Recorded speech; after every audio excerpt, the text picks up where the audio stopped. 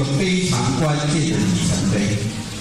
台湾经过了这一场的选战，这样子的一个遏制的罢免的歪风，就有可能被遏制掉。基隆市长谢国良罢免案最终以失败收场，国民党成功挡下大罢免潮的首场战役。主席朱立伦率党中央到基隆举办感恩茶会，但绿营想翻转国会席次，台面下蠢蠢欲动。只要我们团结，团结力量大，别人就不敢欺负我们。大家说对不对？对。他们接下来如果再将恶搞，再将恶霸，我们国民党绝对不会战，不去战。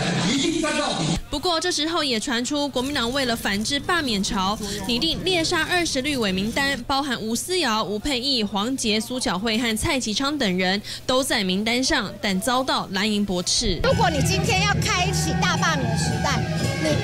的理由只是因为希望翻转国会，而不是因为哪一个立法委员做的不好，这种不正当的理由，你今天真的要玩这个游戏，国民党可以陪你玩，可是我们本身是觉得这个理由不正当，觉得这样子的思维。是很没脑，而且很没风度，而且我觉得蛮下流的。徐小新很酸，民进党输不起，讽刺绿委许志杰，因为罢凉后，许志杰上广播节目，列出票数接近的九名男委，还有萨卡都胜出以及仇恨值较高的人，干脆修法投到民进党赢才算数好了。如果今天他们以夺权为名，然后呢，呃，行罢免之时，那我们也不会坐以待毙。宪法所赋予的罢免权变成政党。报复性工具只会让民众厌烦。